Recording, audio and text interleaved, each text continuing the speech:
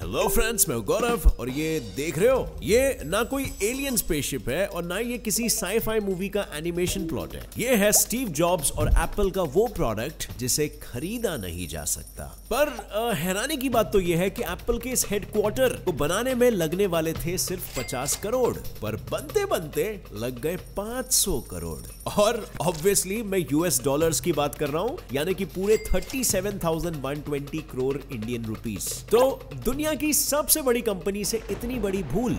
How uncool right पर पता है कूल cool क्या है? अरे यही कि एप्पल का ये हेडक्वार्टर कैंपस 40 फुटबॉल फील्ड्स जितना बड़ा है, जिसे आप एक हाईटेक फ्यूचरिस्टिक सिटी भी कह सकते हो। क्योंकि जीने के लिए ज़रूरी हर चीज़, जैसे कि खाने के लिए कैफेटेरियाज हेल्दी रहने के लिए वेलनेस सेंटर्स और मेडिकल इमरजेंसीज के लिए यहाँ पर सारी तैयारियाँ की हुई है। लेकिन सबसे बड़ी बात तो यह है कि हेडक्वार्टर ज़मीन पर नहीं खड़ा है और इसीलिए भारी से भारी अर्थक्वेक्स आने पर भी ये गिरने वाला नहीं है। और last but not the least ये हेडक्वार्टर 100% रीनेवेबल एनर्जी पर चलता है और साल के 12 में से 9 महीने इसे ना एसी लगती है ना ही कोई हीटर पर आखिर कैसे? सो so फ्रेंड्स आज की इस वीडियो में हम दुनिया की सबसे एक्सपेंसिव बिल्डिंग्स के इन सारे सवालों के जवाब ढूंढ कर निकालेंगे in our today's video titled inside the 5 billion Apple headquarters As Hewlett Packard has been shrinking lately, they decided to sell that property and we bought it.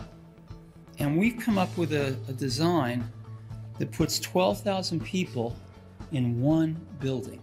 ये था स्टीव जॉब्स का सपना, जिसे उन्होंने सिटी काउंसिल के सामने 2011 में पेश किया था। लेकिन इस सपने की शुरुआत 2004 में ही हो गई थी, जब जॉब्स अपने कंपनी और अपने एम्प्लॉयज़ को एक ऐसा एनवायरनमेंट देना चाहते थे, जिसमें कंपनी की बिल्डिंग और नेचर के बीच की लाइन वो मिटा सके। यही नहीं, अपने एप्पल प्रोडक्ट्स की तरह वो एक ऐसा कैंपस बनाना चाहते थे, जो ना सिर्फ़ आज की कंपनीज़ को, पर कई सालों तक आने वाली कंपनीज़ को इंस्पायर कर सके। और जॉब्स ने ये करके भी दिखाया। अपनी ज़िंदगी के आखिर के कुछ सालों में। उन्होंने एप्पल के इस नए कैंपस का सपना बुना और उसकी नींव भी रखी। पर अफसोस वो अपने सपने को पूरा होने के बाद देख नहीं पाए और अक्टूबर 5 2011 में एप्पल को टिम कुक के हवाले करके चले गए। पर हैरानी की बात तो यह है कि सपने की शुरुआत में इस कैंपस को खड़ा करने के लिए उन्होंने सिर्फ़ 50 करोड़ यूएस डॉलर्स का एस्टिमेशन लगाया था। पर आठ सालों बाद जब ये कैंपस बनकर खड़ा हुआ तो ये 5 बिलियन डॉलर्स यानी 500 करोड़ डॉलर्स में तैयार हो रखी थी। लेकिन फिगर नॉट ये अमाउंट 2018 में ही एप्पल के कैश रिज़र्व का सिर्फ़ 2 परसेंट था। और आज तो शायद ये अमाउंट गिनती में भी नहीं आएगा, जब एप्पल 2.08 ट्रिलियन की वैल्यू के साथ, यानी कि 1.5 करोड़ करोड़ के साथ दुनिया के सारे बिलियनर्स को पीछे छोड़ चुका है। इसके अलावा,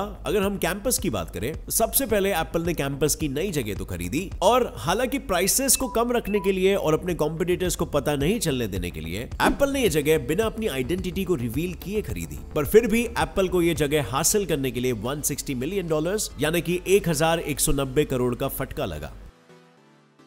जिसके बाद 175 एकर्स में फैला हुआ ये एप्पल कैंपस लैंड एप्पल ने 2008 के पहले खरीद लिया था, लेकिन इस पर कंस्ट्रक्शन स्टार्ट करने की परमिशन उन्हें 2013 में मिली। और इस प्रोजेक्ट का सारा कारोबार एप्पल के Norman Foster the world famous architect के कंधों पर सौंप दिया गया। जिन्होंने, अगर आपको नहीं पता तो ऐसे ऐसे और ऐसे कई अनइमेजिनेबल आर्किटेक्चरल तोहफे दुनिया को दिए हैं। और नॉर्मन ने इस बार भी दुनिया को अपने आर्किटेक्चर से हैरान कर दिया। 2017 में जब एप्पल की ओपनिंग हुई तो दुनिया भर में सिर्फ़ और सिर्फ़ एप्पल पार्क के ही चर्चे चल रहे थे। एप्पल पार्क के इस बिल्डिंग को, जिसे रिंग और स्पेसशिप जैसे निकनेम भी लोग देते हैं, उस चार माले की सर्कुलर बिल्डिंग में 2.8 मिलियन स्क्वायर फीट का ऑफ़िस स्पेस है, जिसके अंदर एक साथ 12000 से भी ज़्यादा एम्प्लॉइज काम कर सकते हैं। ये building world largest panels of curved glasses से बनी है, जिसमें 3000 ग्लास पैनल्स लगे हुए हैं। और पता है, इस पूरे रिंग के दोनों साइड यानी अंदर और बाहर, दोनों साइड गैलरी की तरह जगह छोड़ी गई है ताकि एम्प्लॉइज आराम से वहाँ पर वॉक करते करते कैंपस के अंदर और बाहर दोनों जगह का व्यू एंजॉय कर सके।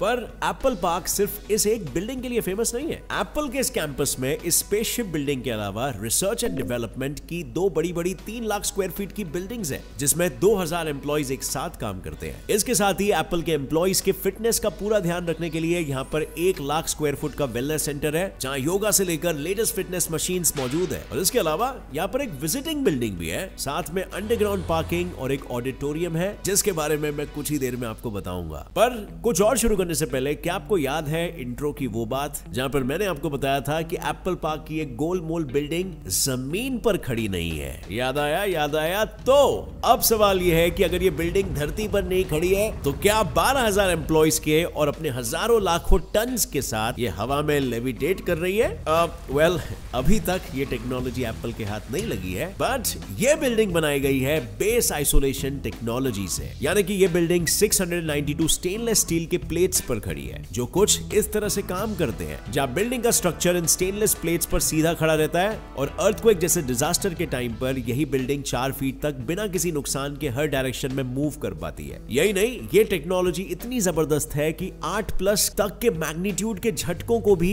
आसानी से झेल सकती है। और एप्पल के इस 5 बिलियन डॉलर्स के प्रोजेक्ट को सही सलामत रखने के लिए स्टीव जॉब्स ने खुद इसे चुना था, जो कैलिफ़ोर्निया के भूकंपों से अपने वर्क प्लेस को बचाना चाहते थे। और साथ साथ स्टीव जॉब्स जापान की इस टेक्नोलॉजी से काफ़ी प्रेरित भी थे। पर यह टेक्नोलॉजी सिर्फ़ एप्पल पार्क के इस मेन बिल्डिंग में ही नहीं, पर एप्पल के ऑडिटोरियम जिसे स्टीव जॉब्स थिएटर भी कहा करते थे, उसमें भी लगाई गई है, जिसके चर्चे सुनकर हाँ बाय द वे आप हक्के बक्के रह जाओगे। क्योंकि बिना पिलर के हवा में खड़ी दिखने वाली इस 155 फुट मेटालिक कार्बन फाइबर की छत वाली बिल्डिंग में एक साथ एक हज़ार से भी ज़्यादा लोग बैठ सकते हैं। और फिर भी ये जगह पूरी की पूरी खाली रहेगी। वेल well, नहीं नहीं एप्पल के पास कोई जादू नहीं है। पर ये कमाल कुछ ऐसा है ना कि ग्लास की बनी ये लॉबी असल में सिर्फ़ ऊपर का हिस्सा है और बाकी सब कुछ नीचे सेट है जिस तक जाने के लिए आपको या तो इन सीढ़ियों का इस्तेमाल करना पड़ेगा या फिर आप इस यूनिक से स्पिनिंग एलिवेटर का इस्तेमाल कर सकते हो। और ये दोनों ही आपको नीचे की लॉबी में ले जाएँगे जहाँ से आगे जाकर आप स्टीव जॉब थिएटर के एंट्रेंस पर पहुँच जाओगे जिसके अंदर एक हज़ार लोगों की बैठने की कैपेसिटी है। पर दिल थाम कर बैठिएगा इन कुर्सियों पर, क्योंकि यहाँ की एक एक leather chair fourteen thousand dollar यानी कि दस लाख से ज़्यादा महँगी है।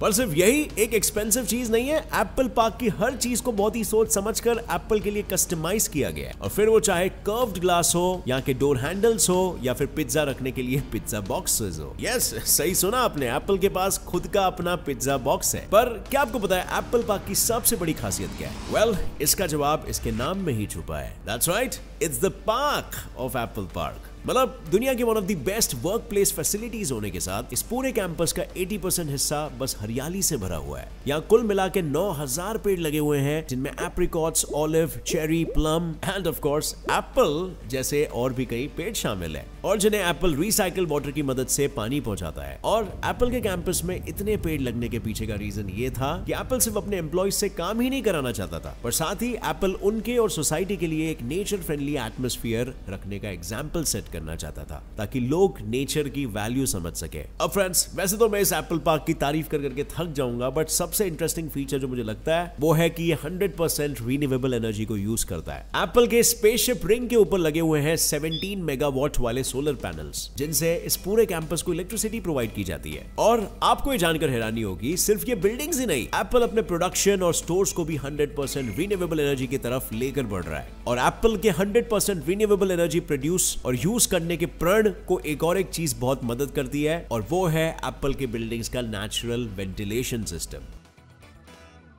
यानी एप्पल की इस बिल्डिंग के बाहर निकली हुई इस छोटी सी छत में एक ऐसा वेंटिलेशन सिस्टम है जिससे अंदर की हवा बाहर और बाहर की हवा अंदर आती जाती रहती है। इसके अलावा बिल्डिंग में ऐसे सेंसर्स लगे हुए हैं जो बिल्डिंग के टेम्परेचर को ठंडी और गर्मी के हिसाब से 68 डिग्री फ़ारेनहाइट से लेकर 77 डिग्री फ़ारेनहाइट तक में ही रखते हैं। यानी ठंड हो या गर्मी टेम्परेचर तो अपने आप ऑप्टिमम तरीके से सेट हो ही जाएगा। और यहाँ पर 43,000 खाली कॉन्क्रीट स्लैब्स भी लगे हुए हैं जिससे बिल्डिंग को ऐसे करने में मदद मिलती है। और जिस जिससे यहाँ पर साल के नौ महीने ना एसी की ज़रूरत लगती है और ना ही किसी हीटर की। मतलब एक तरह से आप ये कह सकते हो कि ये बिल्डिंग अंदर काम करने वाले एम्प्लॉयज़ की तरह सांस लेती है। पर अब फ्रेंड्स मैं आपको कुछ सबसे बढ़िया दिखाऊँगा। ये देखो, है ना कमाल?